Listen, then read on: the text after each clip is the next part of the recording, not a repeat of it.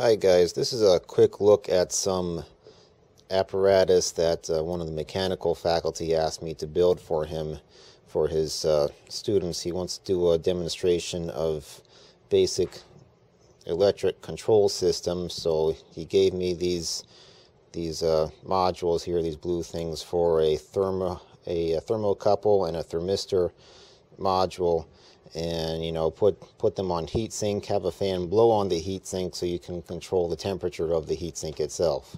So basically we've got a 24 volt supply going to some power resistors here and um, the thermistor is underneath the Kapton tape right there in the middle. And of course that's all mounted on a heatsink I got from a computer from the, uh, the microprocessor heatsink and then there's the module that the thermocouple or the, the thermistor gets plugged into. And of course, there's the fan, the four wire um, pulse width modulated fan. That's why I was messing around with the PWM fans earlier. And um, just a little 12 volt regulator there because I'm inputting 24 volts and the fan needs 12 volts to operate.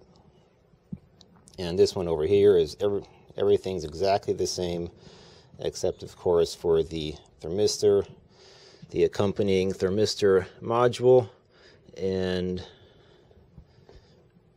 well that's it. That's the only difference. And I have it hooked up got it going on 24 volt supply here and basically I'm measuring the voltage on the output of the the module. The module outputs a current, and I just have a resistor uh, to convert the current into a voltage. So we're looking at 2.82 volts, and that's with the fan on its lowest speed.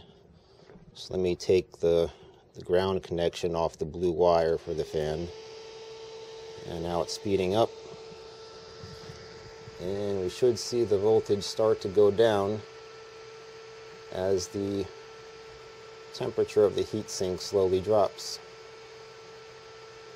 I haven't actually calibrated it for you know what what voltage means what temperature but you know this this is just a very basic demonstration of a control system um, the control would of course be afforded not by anything here but by this right here the NI National Instruments USB 6211 um, control module.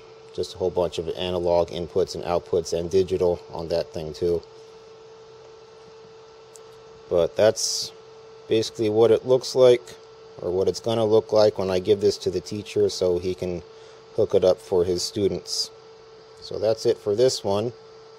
Thanks for watching.